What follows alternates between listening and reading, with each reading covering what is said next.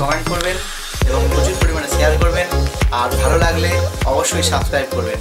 তাহলে আসছি, বিদায় নিচ্ছি। পরের দিন অন্য কোনো ভিডিও নিয়ে আবার ফিরে আসব। ধন্যবাদ।